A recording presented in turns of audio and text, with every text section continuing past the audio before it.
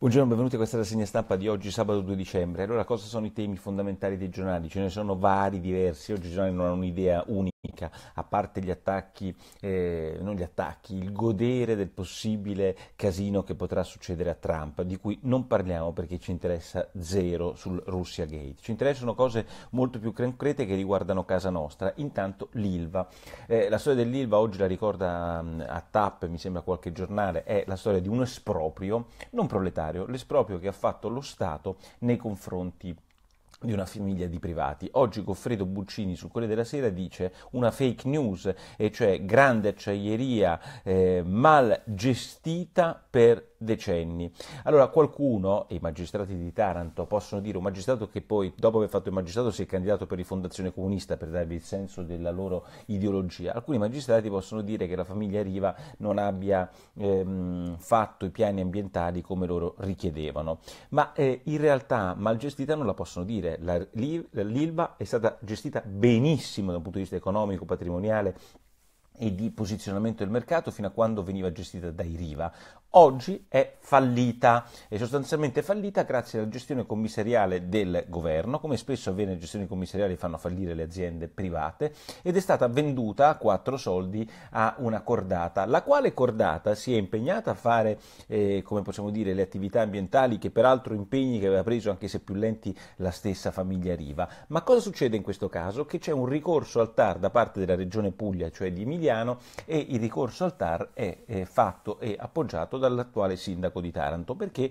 il concetto è quello che tutti i giornali parlano, che questa acciaieria uccide. Non c'è nessuna prova, non c'è nessuna sentenza, non c'è nessun giudice che abbia dato una sentenza definitiva sulla possibile morte provocata dall'Ilva. L'inquinamento lo fa come qualsiasi attività umana inquina, soprattutto un'acciaieria, ma questo è un discorso che non ci riguarda oggi, perché basta leggere oggi i sindacati, non della CGL, ma ho letto 8 Bentivogli oggi della CISL che si occupa dell'ILVA, che in un'intervista mi sembra molto più responsabile di Emiliano e dei politici che per motivi elettorali continuano a cavalcare la parte della città e le paure che questa grande acciaieria possa uccidere. Chiudiamola, questo è il concetto, dopo questo rincorso verrebbe ovviamente chiusa e, e poi dopo non ci preoccupiamo delle 15.000 famiglie che perdono lavoro. È anche una scelta, perché se una cosa veramente si ritiene che uccida, beh, ehm, chi se ne frega di 17.000 Mm, persone che lavorano lì. E, ehm, Ventivogli ricorda inoltre come il sindaco, il presidente Emiliano, grandissimo presidente Emiliano della regione che a me sta anche simpatico, abbia fatto ricorsi contro il TAP, un tubo che va a finire nel Salento e che porta dall'Azerbaigian del gas in Italia, fondamentale per le nostre diversificazioni energetiche, quindi invece di inquinare con le navi eh, è una specie di gasdotto che arriva a noi, anche su quello stiamo rompendo i coglioni e anche su quello Emiliano ha fatto un ricorso, sulla buona scuola ha fatto un ricorso, sui vaccini ha fatto un ricorso, tutti tutti e tre i ricorsi persi, quarto ricorso sull'ILVA, tanto per chiudere mm, eh, la acciaieria che, mm, e quindi 15.000 persone, perché non è che poi le persone lavorano sugli alberi, posto che non vogliono più lavorare sugli alberi.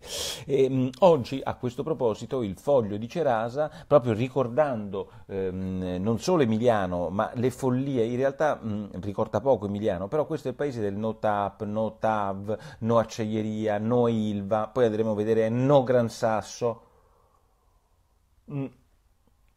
e richiede una cosa condivisibilissima, dice oggi eh, Claudio Cerasa sul foglio, è necessaria una nuova marcia dei 40.000 ton- contro tutti coloro che dicono no.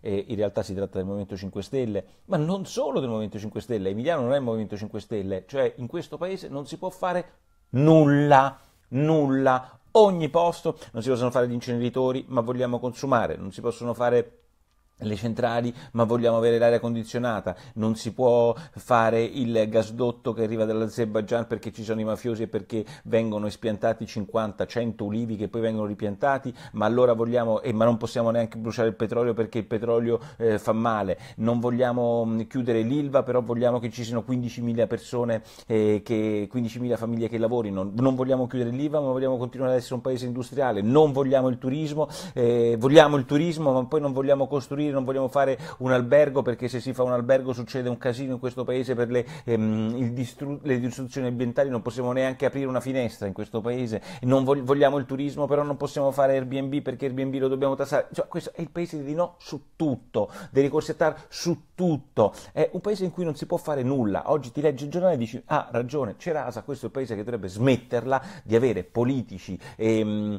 cioè, fa- fateci sbagliare, tanto dobbiamo, mm, dire, fateci sbagliare, c'è stata l'ILVA per 60 anni, oggi ci siamo accorti che l'ILVA non va bene. Vabbè. Ehm, Un'altra cosa pazzesca è questa commissione banche eh, presieduta da Casini, eh, vi dico la verità, non servirà a nulla, finirà prima della campagna elettorale, non ha alcun potere sanzionatorio, è stato già eletto, il, eh, è già stato nominato per i prossimi sei anni contro il parere di Renzi e non solo, il governatore della Banca d'Italia, lo stesso che ha gestito gli ultimi sei anni, noi abbiamo una commissione che serve soltanto o a difendere Renzi come nel caso del procuratore Rossi l'altro giorno o ad attaccarlo come nei prossimi giorni perdita di tempo, perdita di soldi con l'idea che Casini finalmente avrà un po' di visibilità. Straordinario il presidente dell'Eurogruppo, questo Dieselbaum, quello che disse che gli italiani e i paesi del sud si occupavano soltanto a bere, pensa da chi l'è detto, da un olandese, e, a, e alle donne. Fatto fuori dal suo governo, quindi non ha più la possibilità di fare il presidente dell'Eurogruppo, sapete che fa? Diventa consulente del fondo salva stati, 14.000, oggi sul Corriere della Sera leggo, 14.000 euro di stipendio al mese. A me non frega niente se uno prende lo stipendio, ma l'idea del riciclo del politico in un fondo burocratico europeo salva stati sempre ehm, eh, dà il senso di come non è che le cose se stanno lontani, i politici se sono lontani sono meno mafiosetti di come sembrano i nostri politici. Allora parliamo dei consulenti siciliani o dei forestali calabresi, non ci rendiamo conto che anche il presidente dell'Eurogruppo poi tiene famiglia e si trova eh, vada lei ad abitare vicino all'Ilva, della gente che muore non frega nessuno. Paolo Bulgarelli, se continuate così, ma che cazzo di ragionamento mi fa? Ma come si permette? Ma che cosa dice? Ma cosa dice della gente che muore? Qual è la gente che muore? La gente muore anche qua in, in pianura padana perché ci sono le fabbriche, muore anche, muore anche in Emilia Romagna perché ci sono le fabbriche. Ma che cosa sta dicendo? È un argomento questo, è un argomento, vabbè, ma comunque lasciamoli perdere, non facciamo nulla. Non, non andiamo ad abitare vicino al TAP, per esempio, perché anche lì si muore, non andiamo a vicino alla Novtav perché anche là si, mm, si muore, vabbè.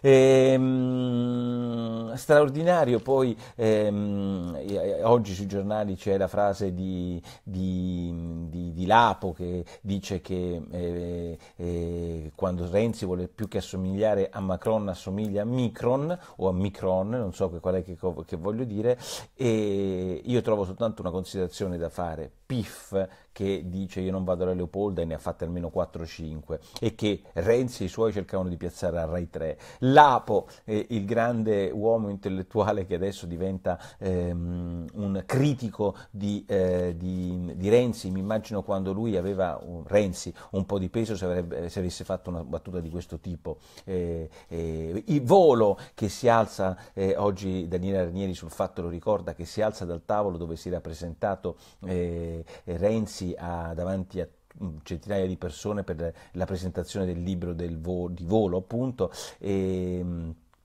e tutti e tre, ma dove erano quando Renzi per mille giorni ha fatto il Presidente del Consiglio? Dove erano quando Renzi faceva quello che voleva, cacciava le persone dalla RAI, diceva chi comandava e chi non mandava? Volo, PIF e Lapo, dove erano quando Renzi decideva che PIF doveva fare l'uomo immagine di Retreo, che comunque era l'uomo che rappresentava l'Italia nella Sicilia? Dove erano questi? Dove erano? Tutte queste grandi gesti, queste critiche eclatanti nei confronti di Renzi, perché non le hanno fatto quando Renzi aveva due palle così, era Presidente Presidente del Consiglio e contava, perché avevano paura, perché avevano paura, perché pensavano che anche loro, come il Presidente dell'Eurogruppo, comunque dovevano campare. Chiaro? Devono campare anche loro, tutti devono campiare.